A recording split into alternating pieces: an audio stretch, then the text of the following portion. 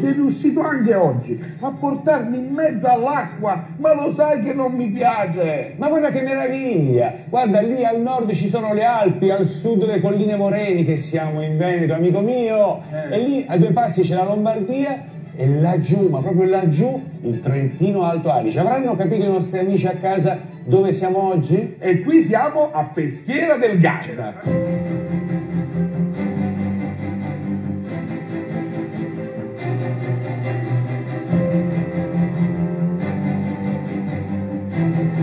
Queste sono le mura patrimonio mondiale dell'UNESCO. Abbiamo chiamato l'artiglieria pesante. Eccoli qua, Denise e Sebin.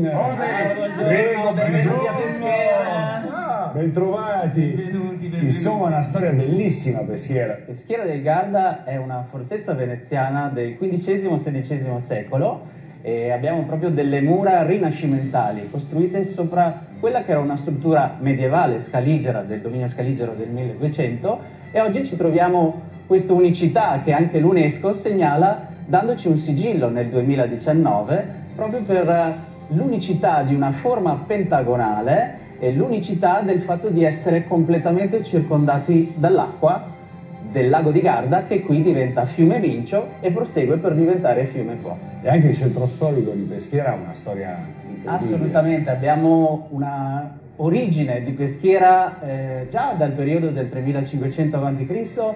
e un nome che è quello di Arilica, che è proprio il nome originario di Peschiera del Garda, che dà anche il nome agli abitanti di Peschiera del Garda, che sono gli arilicensi. Che significava? Arilica eh, ha un significato che può essere tradotto come il dove tutto scorre. Eh beh, in effetti qua scorre, eh. Pantarei, tutto scorre. Denise, quali sono i luoghi più caratteristici su queste mura?